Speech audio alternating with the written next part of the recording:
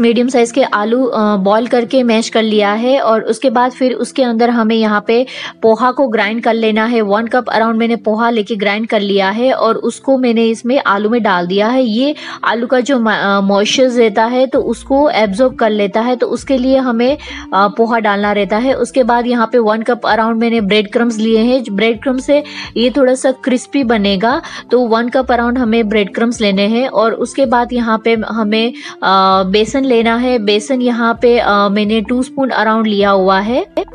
तो अभी हम इसमें मसाला डालेंगे। यहाँ पे one spoon around garlic paste लिया हुआ है one spoon around ginger paste लेना है और हाफ़ स्पून यहाँ पे हरी मिर्च का पेस्ट लेना है। और उसके बाद यहाँ पे मैंने सॉल्ट डाला है। टेस्ट के अनुसार आप सॉल्ट डाल सकते हो। वन एंड हाफ़ स्पून लिया हुआ है। ये ग्रीन सॉल्ट है और उसके बाद यहाँ पे मैंने हाफ़ स्पून काली मिरी लिया हुआ है।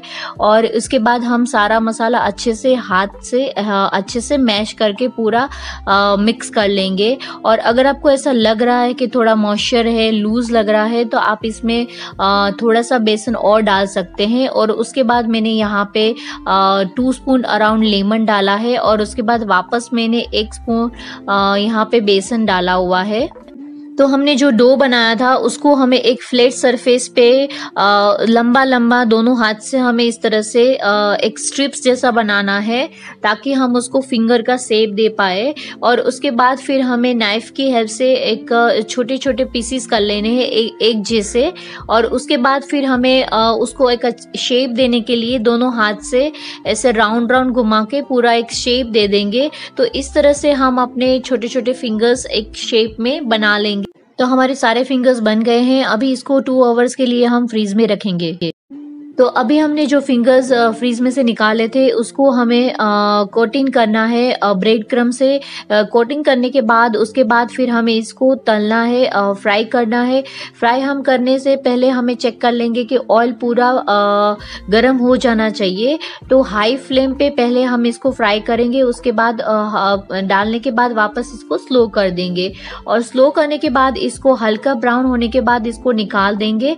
और उसके बाद वापस एक सेकेंड राउंड कर कर लेंगे दूसरे फिंगर्स को डाल देंगे, उसको तलने तक वो अगले वाले जो हमारे फिंगर्स हैं, वो थोड़े से ठंडे हो जाएँगे।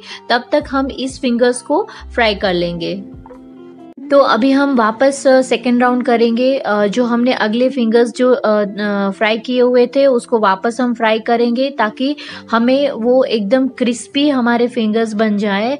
और ये बहुत ही डिलीशियस लगते हैं। इसको आप अगर स्टोर करके रखना चाहो लॉन्ग टाइम के लिए तो वो स्टोर भी कर सकते हो। तो ये हमारा तैयार हो गया है पोटेटो फिंगर्स और बहुत ही डिलीशियस लगता है टेस्ट में। इसको स्टोर करके आप फ्रिज में भी रख सकते हो। और जब चाहे तब आप इसको फ्राई करके आप खा सकते हो। आई होप आपको ये रेसिपी ज़रूर पसंद आया होगा। तो please like share and subscribe my channel